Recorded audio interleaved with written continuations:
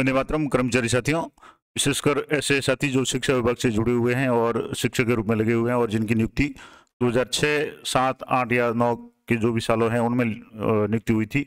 उनके संबंध में एक महत्वपूर्ण जानकारी मैं आपको साझा कर रहा हूँ। बहुत ही इंपॉर्टेंट जानकारी है खास करके जो वेतन विसंगति के संबंध में। तो सबसे पहले तो मैं आपको बता दूँ कि इस संबंध में कार्यालय निर्देशक प्रारंभिक शिक्षा बीकानेर की तरफ़ से क्या आदेश जारी हुआ है इसके संबंध में वित्त विभाग का क्या आदेश था और लेटेस्ट जो आदेश जिला लेवल पे जो जारी हुआ है वो क्या है? पूरी जानकारी मैं इस वीडियो में देने का प्रयास करूँगा और कुछ इंपॉर्टेंट जानकारी या इसके बारे में जो विस्तार से जानकारी मैं और अगर ज़रूरत पड़ी तो अगले वीडियो में बताऊँगा। तो सबसे पहले तो मैं बता दूँ कि ये जो कार्यालय निदेशक प्रारंभिक शिक्षा बीकानेर की तरफ़ से जो लेटर लिखा गया है, जिसमें समस्त जो संयुक्त निदेशक समस्त और जिला शिक्षा अधिकारी मुख्यालय प्रारंभिक शिक्षा को लिखा गया है और जिसका विषय है, सीधी प्रति से नियुक्त वरिष्ठ कार्मिकों की वेतन विसंगति दूर करने बाबत। अब सबसे इंपॉर्टेंट बात तो वेतन विसंगति क्या थी? तो इसमें लिखा होगा उपरोक्त विषयांतर्गत लेख है कि सीधी भर्ती से नियुक्त वरिष्ठ कार्मिक का वेतन कनिष्ठ कार्मिक से कम होने के संबंध में। यानी जो कार्मिक पहले लगे हुए दो हज़ार छः सात आठ या नौ में लगे हुए उनका जो वेतन माने उनके बाद जो 2012 वगैरह में लगे हुए हैं उनसे भी कम आ, कुछ जगह रहा है। तो उसका क्या कारण है या उसको कैसे दूर किया जाए? उसके संबंध में वेतन विसंगति के संबंध में वित्त विभाग द्वारा जो भी आदेश जारी किया गया था अट्ठाईस पाँच दो अट्ठाईस मई को जो आदेश जारी किया गया था, वो भी मैं आपको बता दूँगा क्या आदेश था कि अनुसार सीधी भर्ती के मामलों में एक एक दो के बाद की तारीख से वेतनमान में संशोधन के कारण, यानी जो छठा वेतन आयोग लागू हुआ था, उसके कारण वरिष्ठ कार्मिक का वेतन उससे कनिष्ठ कार्मिक से कम हो जाता है। यानी जो भी पहले लगे हुए थे, उनका वेतन कम हो गया, जबकि उनके बाद में जो नियुक्त हुए थे, उनको अधिक वेतन मिलने लगा था। तो ऐसे मामलों में वरिष्ठ कार्मिक के वेतन को उनसे कनिष्ठ कार्मिक के बराबर उस तारीख से बढ़ाने की अनुमति दी जा सकती है, जिस तारीख से कनिष्ठ कार्मिक ने उच्चतर वेतन लेना शुरू किया था। यानी जब कोई बाद में लगा हुआ कैंडिडेट है या जो भी कर्मचारी है, उनको ज़्यादा वेतन मिल रहा है, जबकि उससे पूर्व लगे हुए नियमानुसार उनको उससे ज़्यादा वेतन मिलना चाहिए, लेकिन उनको कम मिला था तो वो विसंगति दूर करने के लिए आदेश जारी किए गए, और इस संबंध में वित्त विभाग ने जो भी आदेश जारी किए गए थे, वो एक सात दो हज़ार तेरह से प्रभावी है और ये आदेश अट्ठाईस पाँच दो हज़ार इक्कीस को जारी किया गया था वित्त विभाग की तरफ़ से। और वित्त विभाग उक्त आदेश के पश्चात भी इस प्रकार के प्रकरणों में, विभाग में विरुद्ध, विभाग के विरुद्ध न्यायालय में वाद दायर हो रहे हैं, क्योंकि अभी तक कई लोगों का ये विसंगति दूर नहीं हो रही है। और जिसे शासन सचिव महोदय और स्कूल शिक्षा और भाषा विभाग राजस्थान जयपुर द्वारा स्थायी समिति की जो भी बैठक थी, दो एक दो यानी इसी महीने की दो तारीख को, जनवरी माह की दो तारीख को बैठक हुई थी। उसमें गंभीरता से लेते हुए इस प्रकार के लंबित प्रकरणों में तुरंत कार्रवाई करने हेतु निर्देश दिए गए हैं। अतः निर्देश दिया गया कि आपके अधीनस्थ कार्यालयों में उक्त प्रकार के प्रकरणों का निस्तारण वित्त विभाग के आदेश दिनांक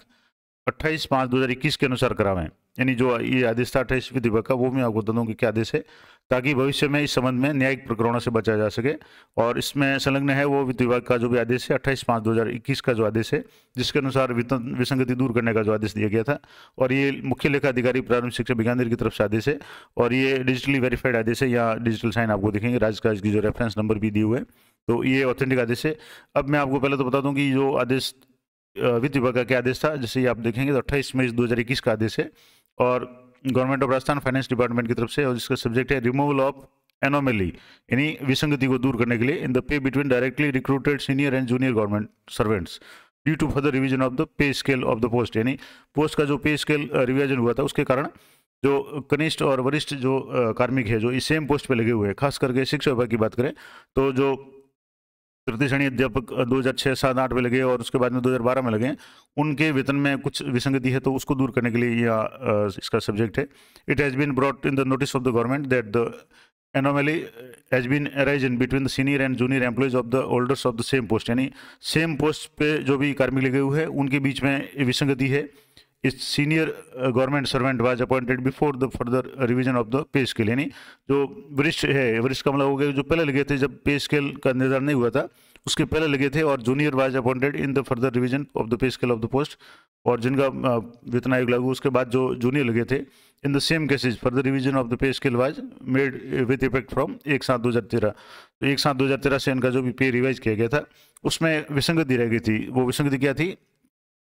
The pay of junior government on the completion of period of probation जो जूनियर कार्मिक बाद में लगे थे, उनका प्रोबेशन पीरियड होने के, पूरा होने के बाद में उनका जो पे था has been made in accordance with entry pay prescribe in the revise schedule fifth यानी जो नया वेतन आयोग लागू हुआ था, उसके अनुसार जो भी पे स्किल था, जैसे अट्ठाईस से छब्बीस किया था, उसके अनुसार उनको जो बेनिफिट मिला था, जो बाद के नियुक्त हुए थे उनको and the pay of senior servant has been fixed at an equal stage जो उनसे पहले लगे हुए थे, उनका उसी इक्वल स्टेज में in the running pay band जो भी था प्लस रिवाइज ग्रेड पे, जो ग्रेड पे रिवाइज हुआ था, यानी अट्ठाईस सौ छत्तीस सौ रुपये उसमें इनको फिट किया गया था। और इस कारण से क्या हुआ the pay of the senior government servant remains lower तो जो सीनियर व्यक्ति थे या जो पहले लगे हुए थे, उनका पेमेंट है या जो पे है, वो कम हो गया, यानी लोअर रह गया। Then the entry pay allowed to the junior servant यानी जो बाद में लगे थे, उनको जो पे स्केल दिया गया था पे दिया था, उससे भी कम उनका पे हो गया और जिस कारण से उनको कम वेतन मिला। दिस हैज़ रिज़ल्ट एनोमली और इसके कारण क्या हुआ? विसंगति पैदा हुई। In the pay from the date of junior has been allotted the entry pay यानी जो जूनियर को एंट्री पे दी गई थी, उस तारीख से उनके और जो पहले लगे हुए थे, उनके बीच में विसंगति पैदा हो गई और according the matter has been considered यानी ये मैटर कंसिडर किया गया और government please in the order यानी राज्य सरकार the case of direct recruitment के मामले में, यानी जिनकी सीधी नियुक्ति हुई थी, सीधी भर्ती हुई थी due to further revision of the pay scale यानी जो पे स्केल रिवाइज हुआ था एक एक दो हज़ार छः से the pay of senior becomes lower than junior यानी जो सीनियर का पे पेमेंट है वो जूनियर से लो हो गया था इन सच के ऐसे मामलों में the pay of senior government servant may be allowed to be stepped up इस मामले में जो भी सीनियर है, उनका पे स्टेप अप किया जाए, यानी उनको बढ़ाया जाए equal to the pay of junior यानी जो जूनियर को पे मिल रहा है, उस लेवल तक इनको बढ़ाने जाने के आदेश जारी किए जाते हैं या अनुमति दी जाती है। From the date junior began to draw higher pay यानी जिस तारीख से जूनियर को जो बढ़ा हुआ वेतन मिल रहा है, उसी तारीख से सीनियर को भी जो पहले लगे हुए हैं, उनको भी बढ़ा हुआ वेतन मिलेगा, यानी उनसे कम नहीं मिल सकता in such cases the date of next increment of the senior servant will be date of next increment admissible to the junior government यानी इनका जो नेक्स्ट इंक्रीमेंट जो जूनियर का है, वो का, वो सीनियर का भी रहेगा, और ये ऑर्डर है this order will be effective from एक सात दो हज़ार तेरह, यानी एक सात दो हज़ार तेरह से ये आदेश है, वो प्रभावी होगा। और ये आदेश कभी पहले, यानी अट्ठाईस मई दो हज़ार इक्कीस को जारी किया गया था, लेकिन अभी तक भी कई जो भी साथी है, उनके वेतन विसंगति है,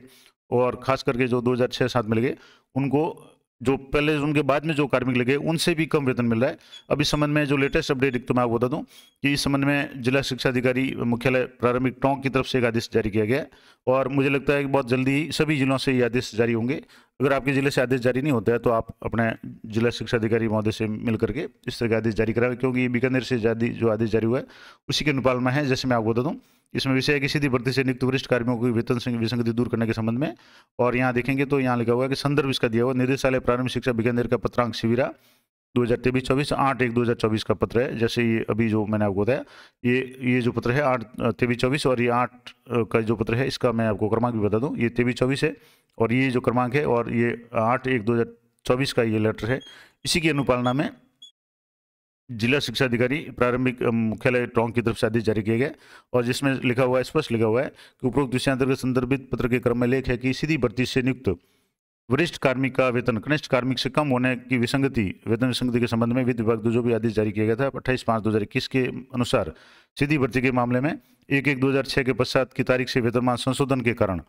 वरिष्ठ कार्मिक का वेतन उससे कनिष्ठ कार्मिक से कम हो जाता है। और ऐसे मामलों में वरिष्ठ कार्मिक को वेतन, उससे कनिष्ठ कार्मिक के वेतन के बराबर उस तारीख से बढ़ाने की अनुमति दी जाती है। अभी जो वित्त विभाग आदेश था, उसी का हिंदी में यहाँ अनुवाद दिया हुआ है कि जिस तारीख से कनिष्ठ कार्मिक ने उच्चतर वेतन लेना शुरू किया था, जो कि दिनांक एक सात दो हज़ार तेरह से प्रभावी है। अधीनस्थ विद्यालयों में ऐसे लंबित प्रकरणों में वित्त विभाग के आदेश दिनांक पच्चीस, अट्ठाईस पाँच दो के अनुसार तत्काल आवश्यक कार्रवाई कर निस्तारण हेतु विभाग के संदर्भित पत्र द्वारा आदेशित किया गया जिसकी प्रति यहाँ नीचे संलग्न की हुई है। अब इसमें लिखा हुआ है कि आपके अधीनस्थ प्रारंभिक शिक्षा में कार्यरत ऐसे कार्मिक जिनके वेतन में उक्तानुसार विसंगति है, उन प्रकरणों का विभाग के निर्देशानुसार निस्तारण करने हेतु संबंधित पीओ को निर्देश प्रदान करते हुए पालना करावे। यानी जो भी पीओ है, पीओ लेवल पर ये सूचना मांगी गई है, जिसमें पीओ ऐसे प्रकरणों की सूचना तत्काल आपके कार्यालय में प्राप्त कर निम्न प्रपत्र में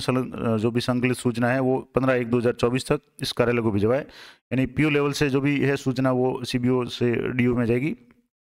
जिसमें यहाँ पीओ का नाम आ जाएगा, कार्मिक का मोबाइल नंबर पद आ जाएगा पद स्थापना आ जाएगा और वेतन विसंगति का पूर्ण विवरण है कि किस तरीके से इनको कम वेतन मिला, किस तरह की ज्वाइनिंग थी, कितना कितना पे फिट किया गया जो नया वेतन आयोग लगा था उसमें। तो इसके अलावा इसमें लगा होगा, आपके अधीनस्थ कार्यरत कार्मिकों के वेतन विसंगति के लंबित प्रकरणों की, आपके कार्यालय स्तर की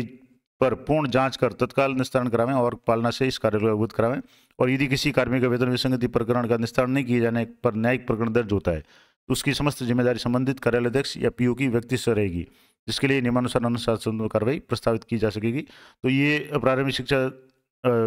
जिला शिक्षा अधिकारी का आदेश था। इसी जो डायरेक्टर महोदय का जो आदेश था, निदेशक प्रारंभिक शिक्षा, उनकी अनुपालना में। तो ये तो महत्वपूर्ण बात थी। अब थोड़ा सा मैं आपको बता दूँ कि ये मामला क्या है और इस संबंध में जो लेटेस्ट अपडेट पे है, मैं एक तो वो आपको बता देता हूँ। जैसे इस संबंध में अभी मैं आपको लेटेस्ट अपडेट बता दूँ, जो आदेश यहाँ जारी किया गया, ये आदेश है निदेशालय संस्कृत शिक्षा की तरफ़ से, जिसमें जो समस्त संभागीय आयुक्त स्कूल शिक्षा जो भी इसमें लिखा हुआ है, जयपुर अजमेर, जोधपुर, भरतपुर, कोटा, उदयपुर, बीकानेर चूरू जो भी संभाग है, वित्त विभाग का जो भी वितरण क्रमांक है, अट्ठाईस पाँच दो हज़ार इक्कीस और संस्कृत शिक्षा विभाग का जो भी है, उसके अनुसार, जो कार्मिक यहाँ पहले लगे हुए थे, इनका नाम है, वरिष्ठ अध्यापक है, अध्यापक लेवल टू वगैरह है, इनको पूर्व में वेतन निर्धारण है, ग्यारह एक सौ सत्तर पे किया गया था, संशोधित वेतन निर्धारण है, बारह नौ सौ पे किया गया तो ये जो आदेश है, इसमें लिखा हुआ है कि एक सात दो के अनुसार ग्रेड पे और बैंड परिवर्तन के कारण अध्यापक तृतीय श्रेणी का प्रारंभिक वेतन बारह हज़ार नौ सौ पे नियत करने की जो सूचना है, उसके लिए ये आदेश जारी किए गए, जो कि डिजिटल साइन है। यहाँ सभी का जो ग्यारह एक सौ सत्तर पे फिट किए गए थे, उनको बारह नौ सौ पे फिट किया गया। ये पूरा आदेश है और ये भी आदेश आप देखेंगे तो पाँच एक दो हज़ार चौबीस का आदेश है, डिजिटल साइन है। अब मैं आपको थोड़ा सा इसके बारे में बता दूँ कि ये विसंगति कैसे हुई या क्या विसंगति है। तो अब जैसे इसमें ये हुआ था कि जैसे जो कार्मिक एक सात दो हज़ार तेरह से पूर्व जो छठा वेतन आयोग लागू हुआ था, उसमें दो हज़ार सात, आठ और नौ में जो भी लगे साथी थे, उनको केवल ग्रेड पे का अंतर ही दिया गया। जैसे इनिशियल पे जो, जैसे आठ हज़ार तीन सौ सत्तर था प्लस अट्ठाईस सौ ग्रेड पे था तो उनको ग्यारह हज़ार एक सौ सत्तर पे फिटमेंट किया गया और जब इनका संशोधन किया गया तब अट्ठाईस सौ की जगह इनको सिर्फ़ छत्तीस सौ दिया गया। इनका जो इनिशियल पे थे, उसमें कोई चेंज नहीं किया गया। जैसे इसकी जगह, जैसे आठ हज़ार तीन सौ सत्तर प्लस छत्तीस सौ हुआ तो इनका जो भी था, वो ग्यारह नौ सौ सत्तर हो गया। अब इसमें जबकि जो कार्मिक एक हज़ार तेरह में संशोधन कारण जो जो बारह में लगे थे, यानी सीधी भर्ती दो हज़ार बारह में लगे थे, उनको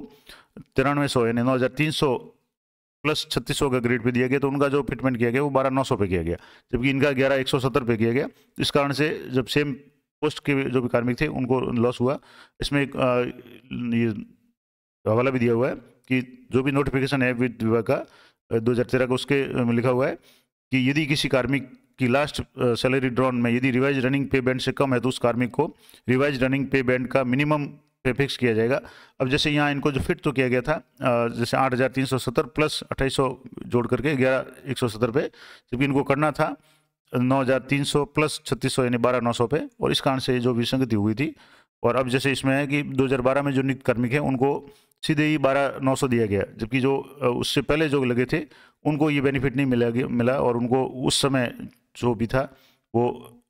तिरानवे सौ की जगह आठ हज़ार तीन सौ सत्तर प्लस ये कर दिया तो इनको ग्यारह एक सौ सत्तर पे फिट किया गया। तो ये विसंगति थी। इस संबंध में अगर आप चाहेंगे तो मैं डिटेल में वीडियो बना के आपको बता दूँगा। तो ये पूरी जानकारी थी कि इस संबंध में डीओ के द्वारा भी आदेश जारी किया गया, समस्त पी स्तर पर ये कार्रवाई करने के लिए कहा गया। और दूसरा सबसे इंपॉर्टेंट बात की जो बीकानेर का जो आदेश है, जिसमें विसंगति दूर करने के संबंध में जो आदेश है, वो आपको मैंने बता दिया। और वित्त विभाग का जो नोटिफिकेशन था, वो भी आपको मैंने आपको बता दिया कि क्या नोटिफिकेशन था। तो ये पूरी जानकारी थी और आशा करता हूँ आपके लिए उपयोगी रहेगी। तो ये जो सबसे इम्पोर्टेंट बात थी, जो मैंने आपको बताई कि ये जो आदेश, जो खास करके वित्त विभाग का जो आदेश था, ये आदेश है जिसके कारण ये सारी विसंगति दूर करने के लिए आदेश जारी किए गए। तो ये भी इंपॉर्टेंट आदेश है, ये सारी पीडीएफ है, मैं आपको टेलीग्राम चैनल पर उपलब्ध करा दूँगा तो वहाँ से आप देख सकते हैं। तो ये वेतन विसंगति के संबंध में बहुत ही महत्वपूर्ण जानकारी आपको मैंने दे दी। आशा करता हूँ आपके लिए उपयोगी रहेगी और इस संबंध में अगर कोई भी आपके संशय है तो कृपया जो भी आपके विभागीय अधिकारी है, अपने पीओ साहब है या सीबीओ कार्यालय से या डीओ कार्यालय से संपर्क करके यथाशीघ्र जो भी कार्रवाई इसमें प्रस्तावित है, वो आप ज़रूर कराएँ। मिलते हैं नेक्स्ट वीडियो में, तब तक जय हिंद, जय भारत।